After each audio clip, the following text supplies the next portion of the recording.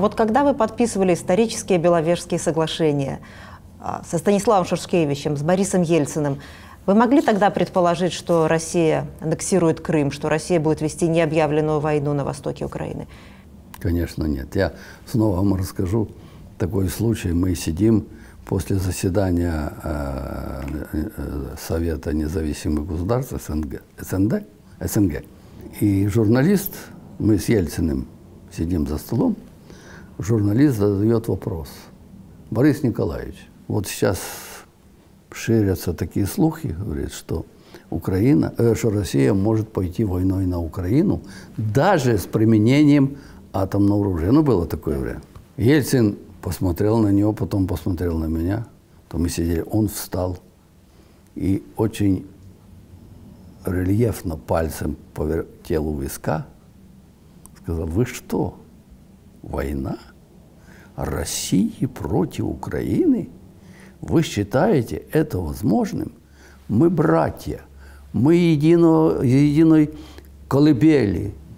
Потом обращается ко мне, Леонид Макарович, а вы как считаете? Я говорю, Борис Николаевич, я считаю точно как вы. Я не допускаю это. И я действительно так считал. Но чтобы убивать, аннексировать, ставить задачу полностью уничтожить государство. Ведь же официальная задача-то Путина какая? Уничтожить украинское государство. Такого я в страшном сне предположить не мог. Но я не думал, что вообще такие люди могут родиться хотела поговорить с вами про аннексию Крыма. Вот вы неоднократно говорили, я процитирую, «Крым сейчас является частью России и больше никогда не станет частью Украины, и что Украине нужно думать о том, чтобы не потерять еще больше территорий, и что крымская история – это бесповоротная ситуация». Можно ли тогда, если провести, может быть, это не очень корректные параллели с Абхазией и Южной Осетией, что это тоже бесповоротная ситуация? Нет, а, параллели проводить нельзя и не надо, потому что это просто неправильно. Во-первых, в истории не бывает абсолютно э, единичных примеров. А что касается Крыма и а, Абхазии и Южной Осетии, это абсолютно разные а, вещи, потому что во-первых, в Крыму население практически 95% это не прорусские, а русские. Это нужно было тоже учитывать украинскому руководству. Я уж не говорю про историю, кому кто что принадлежало. Это как бы для современного международного права, естественно, не является как бы показателем и правильно. Давайте скажем, в Крыму был проведен референдум. И никто а, практически реально не ставит под сомнение этот референдум, потому что в нем принимало участие ну, практически 90% населения, мы прекрасно знаем, какой был результат. В Абхазии и в Южной Осетии был, была проведена этническая чистка. Ну, то есть референдумы и выборы там были проведены после того, как коренное население а, в Абхазии где-то 350 тысяч беженцев, а, а в Южной Осетии где-то 150 тысяч человек были выдворены из страны. Давайте вернем этих людей в Абхазию и в Южную Осетию, проведем референдум, и уж потом поговорим, если они проголосуют за независимость Абхазии и Южной Осетии, нам придется это признать. А Крым чей, господин президент? Сейчас? Да. Сейчас де-факто он в России. Украина будет считать еще долгое время его частью Украины. Россия долгое время будет. Недолгое время Россия де-факто включила в состав Российской Федерации. Я думаю, это, это будет длиться очень долго. Знаете, мы имеем Карабах, и опыт Карабаха нам подсказывает, что э, такие ситуации быстро не решаются. Ну, пройдут, сменится поколение. Ну, если не найдут какую-то формулу, там, назвать Крым общим домом там, для Украины и для России, есть такие идеи, насколько я знаю, там, экспертное сообщество предлагает некие такие идеи, то есть создать ситуацию некого кондоминиума, то есть ситуацию, при которой как бы, фактическое пребывание где-то там Крыма ну, не имело бы столь, столь большой важности. То есть создать условия, при которой и украинцы и, там, будут чувствовать себя так же комфортно в Крыму. Сейчас иногда сравнивают Приднестровье и Крым. Что общего у них и в чем разница? Ничего общего. Если только, например, Крым был оторван от России на долгие годы, даже больше, чем сейчас Приднестровье. А Приднестровье оторван от Молдовы вот уже почти 25 лет. А Крым чей? Крым так, как решился вопрос. он и есть тем, которые решили вопрос. А что вы меня испытываете? Но в данном случае все же знают, каким образом был Крым передан Украине, когда и кем, и в какой ситуации и так далее. Просто установили, установили законность этого. Ну, кроме того, кто не знает и кто не помнит, что сколько на земле крымской, так сказать, российской крови в разных войнах и с турками, и, с, и до турок, и после турок с фашистами и так далее. О чем мы говорим? Так можно менять границы, получается. Вот у вас в программе партии, вот я на сайте читала, четыре основные постулата. Европейские свободы и стандарты, стратегическое партнерство с Россией, молдавская идентичность и территориальная целостность Молдовы. И где вы видите менять границы? Крым. Ну, это не, это не программа Крыма, это нашей партии. Мы исходим из наших вопросов. Вот мы на этих принципах здесь у себя так стоим. Там есть правительство России, угу. есть кому решать эти вопросы.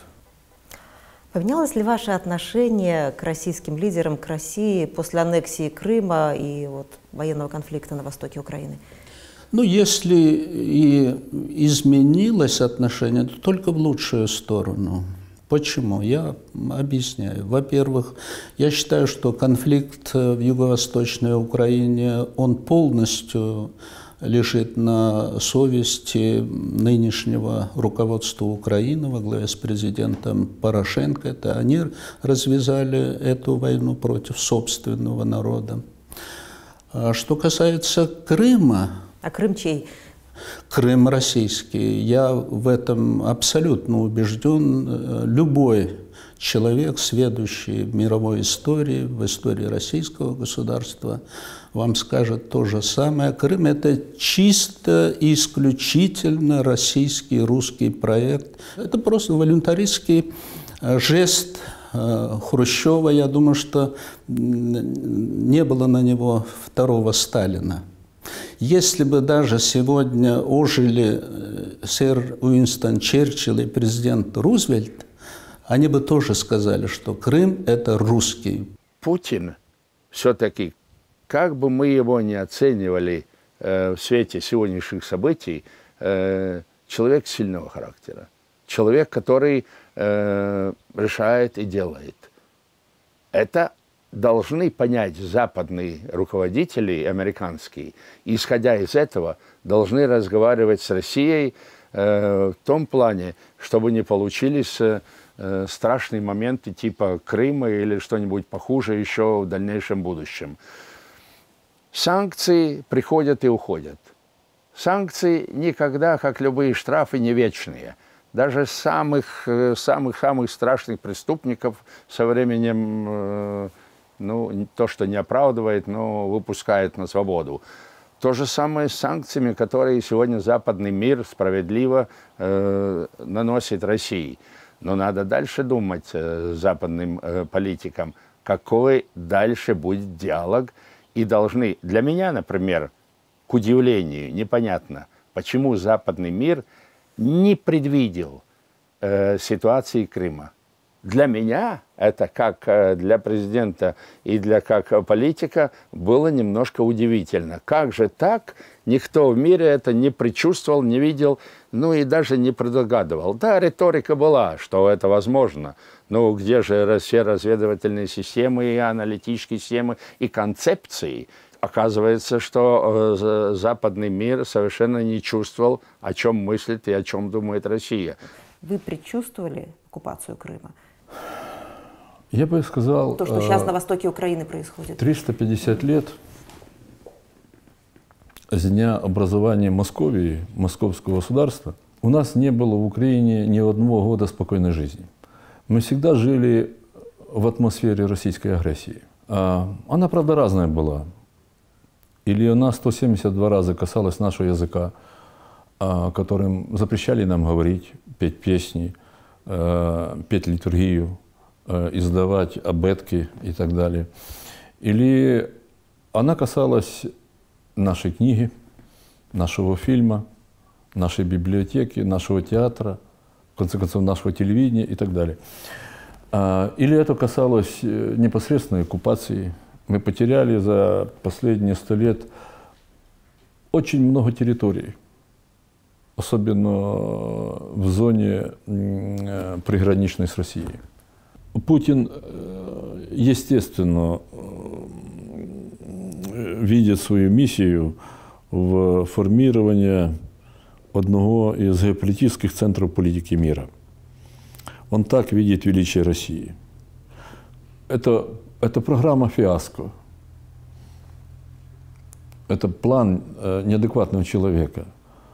Но то, что он брязгает оружием каждый день, что каждый, э, каждую неделю куда-то падают самолеты, э, куда-то не туда торпедные ракеты летят, это все показывает, что это дряная политика, она бесперспективная. Но правда и другое, она никому не даст спокойно жить.